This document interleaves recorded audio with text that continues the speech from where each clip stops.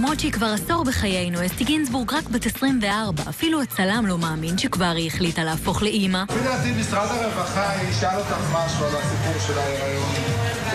כי את.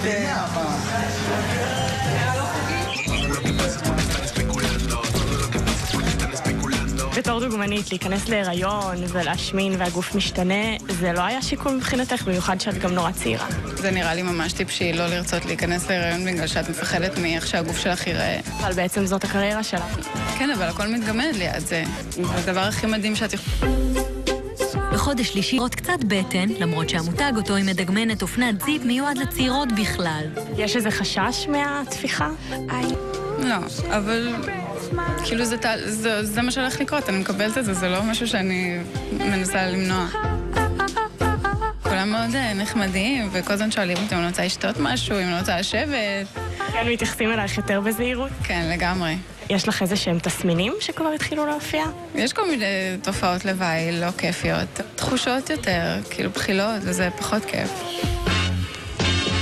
אז את הקמפיין הזה היא הספיקה, אבל ההכרזה המפתיעה על ההיריון העלתה את השאלה איך אסתי תתמודד עם טירונות חנוכה בתפקיד נסיכה במחזמר גיבור, שבה מתקוממת על עצם השאלה. היו כל מיני נשמות רעות שהרגישו שהם חייבים מיד ללכת ולשאול את כולם אם עדיין ממשיכים איתי. כאילו זה לא, לא הבנתי את זה, זה הרגיז אותי, אני אומרת, מה, אני חולה?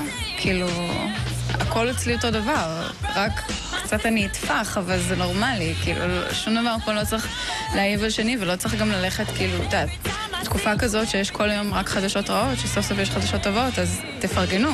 כאילו, אל תפרגנו ותעקצו, תפרגנו מהלב.